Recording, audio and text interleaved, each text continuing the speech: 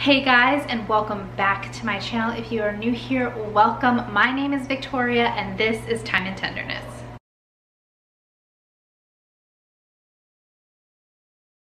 So going forward, I just want to let you guys know that you are going to be hearing a lot of more background noise in the, in the background of my videos because I have Gabriel and he has found his voice recently. So if you hear any background noise, it's him.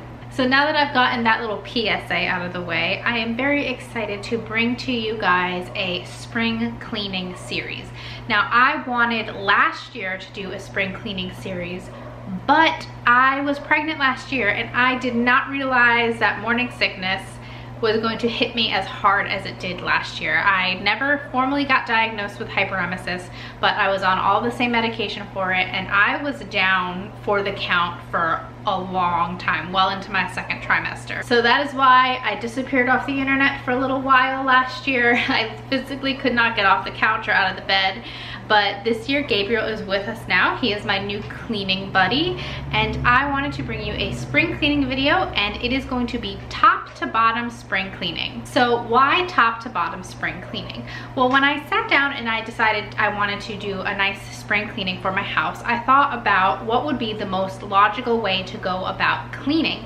And I figured if I start at the top of my house and work my way down, I will knock all the dirt and debris off from the high spaces and eventually it'll work its way down to the low spaces and I'll be able to vacuum it, sweep it, mop it all up and everything will be spotless from the ceiling to the floors. So that is what I'm going to be starting with you today. However, I recognize that now that I am a mom and now that I am in this new season of life, I cannot always do what I want to do. Sometimes Gabriel has his own agenda and he requires some cuddles, some extra feeding time, or like today, right? Like today you don't want to take a long nap.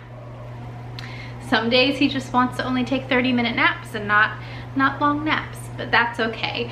Uh, so I'm going to be breaking this series up into different segments and today I am starting at the high end of my house working in the corners, on the ceilings, dusting, um, the top cabinets in my kitchen, wiping them down. And eventually over the next couple weeks, I will be bringing you along with me to show you different spots in your home that maybe you might have forgotten about and cleaning them. So follow along. Hey guys, before we really get started in this week's video, I wanted to pop on really quick to tell you about Simply Earth. If you've been a longtime follower, you might recall that I used to be very much into essential oils, and I still am. However, I am now very excited to be working with Simply Earth instead. Simply Earth makes essential oils much more affordable and they are really big on proper education. I'll tell you more about them later on in the video. Okay, so don't mind the sound of my washing machine in the background, but the first thing that I'm going to be doing is I'm taking a duster and I'm going to be going around the perimeter of all the rooms in my house. When I get a chance, I'm gonna start here in the kitchen dining room area. And what I am going to be doing is I am going to take in the duster and just dusting where the ceiling meets the wall. So that whole perimeter, that's where cobwebs and spider webs and dust tend to accumulate and especially up in the corners. Okay, so one thing I do want to make sure that you all are aware of is I am using a step stool for this project starting again from the top down. So I am going to need a step stool. I want you guys, if you are using a step stool or a ladder, to be very cautious and very safe. Make sure if you are home alone uh, while you're doing this project, make sure there's no pets that are going to get in the way of your step stool or your ladder. Make sure that your significant other, a parent, a friend, a family member, they know that you are going to be on an elevated surface.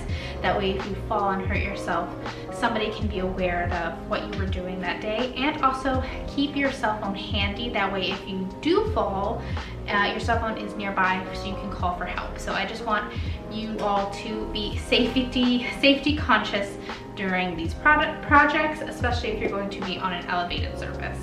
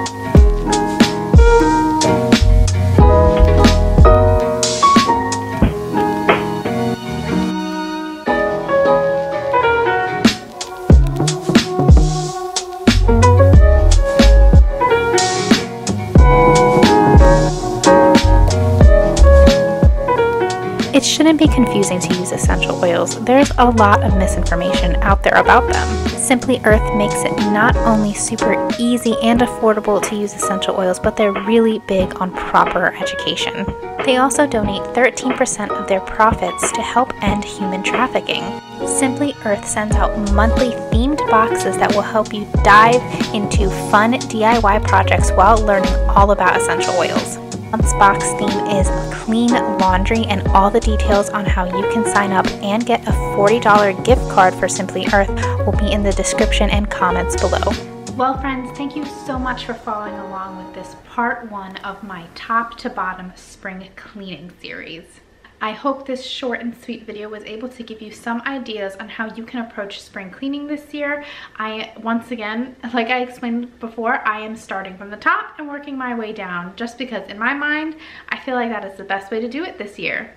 So let me know what areas of your home you're looking forward to start cleaning this year for spring cleaning. Let me know what you liked about this video. Don't forget to like and subscribe. Don't forget to check out Simply Earth and I will see you guys next time. Bye!